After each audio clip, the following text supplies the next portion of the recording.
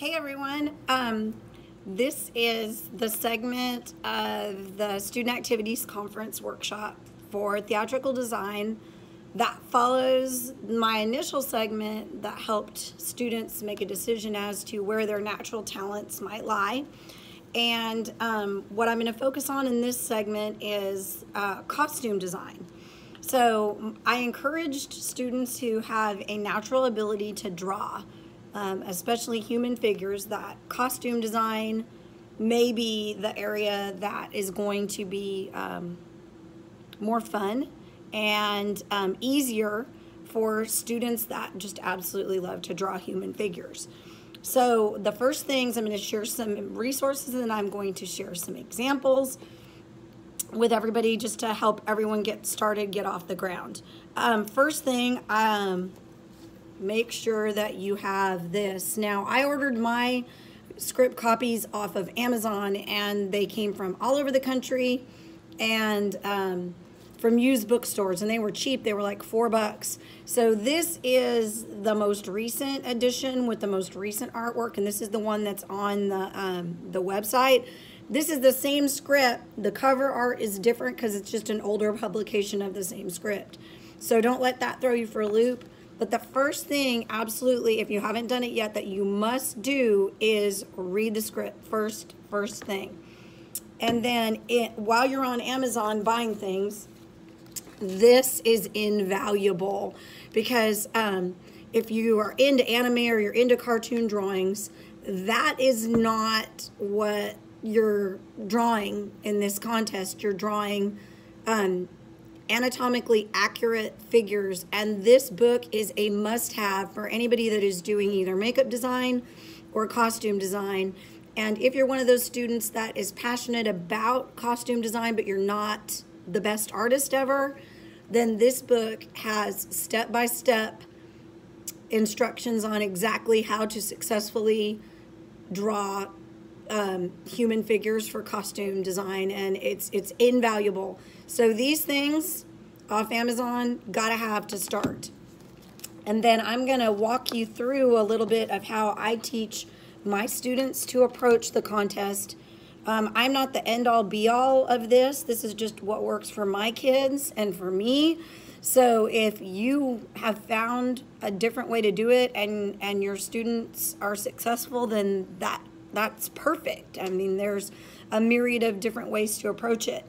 But I always have my students approach the um, inspiration board first. So um, I always just spend some time brainstorming, and, and, and this year, with art being our focus, we took a lot of time and analyzed the script first and we did character analysis and character motivation. We spent a lot of time in, in the script and analyzing what the messages were.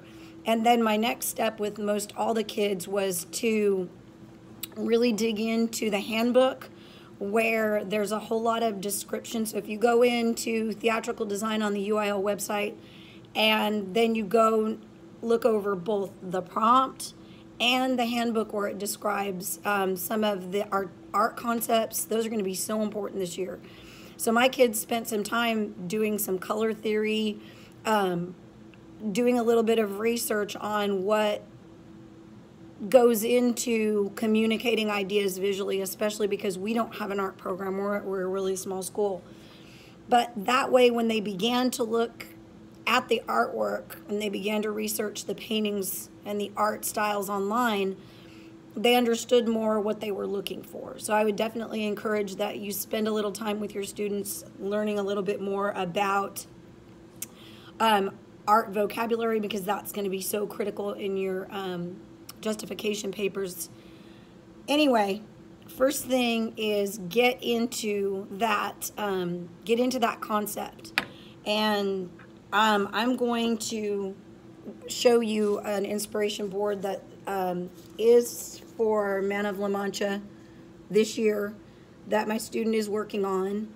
And um, she was interested in, in this particular style. She's still in, in the process, but she found um, this style, which is Cubism, and um, all of her artwork from here on out. For, uh, she's actually a marketer, but she's one of mine that's already really um, pretty good into the project. All of the designs that she's going to create from here for her marketing design are all going to be based on um, on this style of art.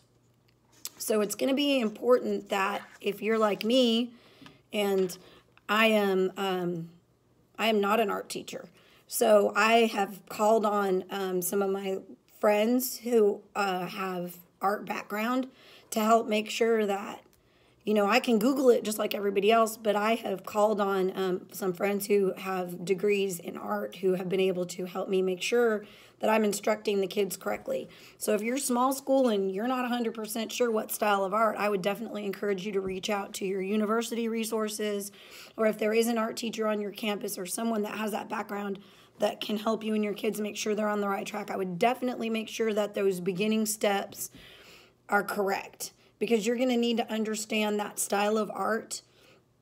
You're going to need to understand what it represents, and your student is going to need to, as they design, make those conscious choices and be able to justify those design choices based on this style of art. And of course, the time, the culture, all of that becomes critically important as um, you these students make design choices and justify those choices. So make sure you've got the script. Make sure you've got this to help you make sure that your style is correct for costume design. Make sure that you have done your due diligence, especially if you're like me and you don't have an art background. Make sure that um, your students understand the style that they're drawn to, the style that's going to inspire their designs, and that they can talk about those elements in that particular style of art that speak to them because of how they see the script. So I wanted to show you something that was relevant to this year, which is why I pulled that that um, inspiration board that my student is working on. Um, with the emphasis there are some folks that do their designs first and then go back and do their inspiration boards, and that's been recommended at some workshops. I tend to do the inspiration first um, with my students. I, I have them get their, their concepts solid and then let those concepts drive their designs. So this is one from, from last year for a costume designer. And all of the art there is focused on um, what the people look like, what they wore, Last year, um, the costume designer, this was a group design, but the costume designer was inspired by uh, Hopi, uh, Navajo, and Anasazi Kachinas. And so they were really unique in um, their uh, overall design, and um, they also used the, the Native American jewelry. And so this drove the designs. So making sure that if your student is uh, or making sure as a student if you are designing costumes then make sure that your inspiration board is reflective of people. Um, yes you can have you know other things like the the jewelry but it needs to be what people were wearing or, or, or, or reflective of how that artwork or that design can be applied to clothing um, so I'm going to go ahead and show you, here's her inspiration board, and then I'm going to show you the realized designs. So, and we'll talk a little bit about those. Let me see. Okay. Make sure I have all of them here. All right.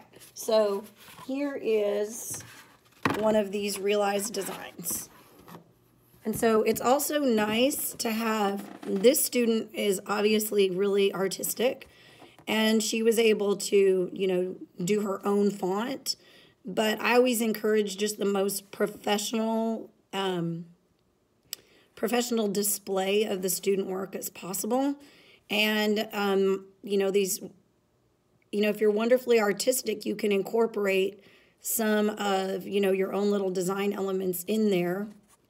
Remember to include your fabric swatches in a big enough size that um, it can easily be visualized how the fabrics will look together and against one another. Um, keep in, in mind, you know, the basics of art and complementary colors and contrast and, and all of those things so that as you're designing, you can explain your choices. And so this design was realized based off of the inspiration board and the clothing of those kachinas. And so here is another one from last year. And it's it's just nice with some different textures on the board, but just consistency and neatness in those realized designs. Um, I've got some of the same artwork from that um, that student from previous years. And this is one of uh, the group. And these were ones that um, she was able to just design and color and do this all freehand. And she did her own font. So don't hold back on um, really making it your own and adding some of your own unique style and art to your actual designs that makes you stand out. Um, those were all done on sketch paper, and um, we uh, used some markers and things that I'll show you here in just a minute. I'm going to take you back into what I call the studio. We kidnapped the book room, and I'll show you what our studio kind of looks like. But this is from several years ago, and she designed this one um, digitally. Same student. So if you love to, if you have a drawing pad and you love to design on your drawing pad, you can do that as well digitally. Um, my kids like to work in Clip Studio. And the only reason I know that is because this student is what she drew on, and she said it was an easy program and it was worked really, really well. And so I ordered it, and it's really not very expensive. It runs about $197 uh, for an individual license. And I think we got a group discount that was about 400 and something dollars for three computers, which really isn't terrible. So this she designed um, digitally, so you can go either way, whichever way is uh, is your forte. Again, same student, and just adding just some embellishments, some different textures that kind of go along with um, the costume design concept. That just adds some color and some interest. Again, study color, study um, texture, study line. Make sure you understand how those things can work well together. Um, one of the fun things that this student always did, and I'll show you this too, she just always added a little touch of herself to things. And this was, you know, her her concept here was um, flowers and their significance and plants and their significance. So she just sketched some of those flowers and plants that she loved and kind of tied that across all of the designs. Um, here are a few from last year, different students. Again, uh, costume design. So her um, her inspiration board focused on people and patterns and clothing and what people would wear. And then she allowed that to drive her designs. Now, she design she would draw the characters on a, on a, a piece of paper and then we put them together on the display board. And then again, each of the swatches are big enough to show a costume designer what those pieces would look like in a realized garment. Again, same student, different character designs. And again, this was last year where we repurposed different items in order to create the designs. So um, that's just kind of a quick overview. What I'm going to do now is I'm going to flip my camera around and kind of show you, and this is um, good for um, all the design students, I'll show you kind of what we've kind of gathered together over the years. And it started with just one little shelving unit, and then I've just added to it over the past few years. So I'm going to flip my camera around here. Flip around, camera. Oops. All right, maybe I'm not going to because I'm not technically adept. Um, right here is a mid price range drawing tablet that my students, that I was able to purchase for my students. It's a Wacom drawing tablet, and I think those set us back. They were um, a little bit over a hundred, and they connect to the computer. And with Clip Studio, students can draw digitally here, and then it becomes a digital file on the computer that then they can manipulate.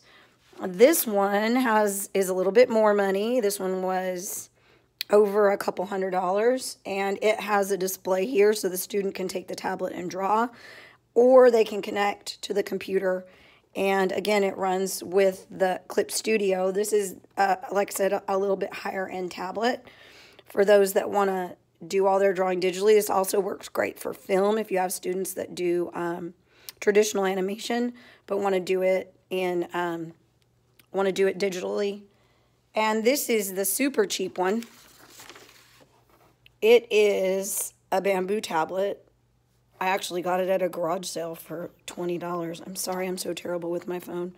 Um, I picked it up at a garage sale for 20 bucks, but these are, you know, these run under a $100, 50, 60 bucks. So they're not horribly expensive. It's just making the investment in um, making the investment in the in the software that's a little bit more expensive. So this is um, this is our studio, and we literally took over the high school book room. And I want to show you some uh, some resources for the students. Um, these are Prismacolor. These are Prismacolor uh, colored pencils, and they are wonderful. Um, I ordered these for the kids, and they take really good care of them. They are great for their renderings. The students also love the, um, what are these? Arteza. Um, they're like watercolor markers, so they're just prettier, and they kind of, uh, they blend like watercolors. Um, basically, I just pick up um, sketch pads of all varieties. I keep those around with different um, different kinds of sketch pads and paper for different mediums, depending on what a student wants to work in. And then the other thing that I do is collect junk. I mean, I've got markers, I've got ribbons of every variety, yarn, um, different chalks and pastels. Um, you can just see. I, I, I, it's just like go to the dollar store, and if you think it looks like it could someday be a set or um, be used on an inspiration board, you know, um, balsa wood, anything, anything that you might use to build. You just start collecting it. And I've got uh, old wigs and costume jewelry and things for makeup and hair design. Um, you know, just access to paints, tons of hot glue. You just start collecting junk. Start collecting artistic junk. And I, I'm not even teasing today. My my mother sent me just a bag of stuff. And it had all kinds of goodies in it. And I took it all because you never know. And I just add it to my shelves in here. Um, it's it's important to get and and keep some some things and we'll talk about those in in set design things that uh, are needful for scale drawing and for um, cutting stuff like that. But um, this is just our little, this is our little art area where our kiddos um, work. And then another thing that is good to pick up is um, equipment for photography. This is um, this is set up right now for film, but um, again, just put out there that you have needs and you may be able to borrow um, we have a really nice camera that was donated to us because the photographer just upgraded and did a charitable donation for us. So there's resources out there and somebody may just let you borrow. Um, having access to lots of little scrap fabric and things. So I didn't show you, you know, I just have boxes and boxes of, of scrap fabric. And here's another box of just any kind of fabric with unique texture. And I just keep it. I keep it stacked up for costume design.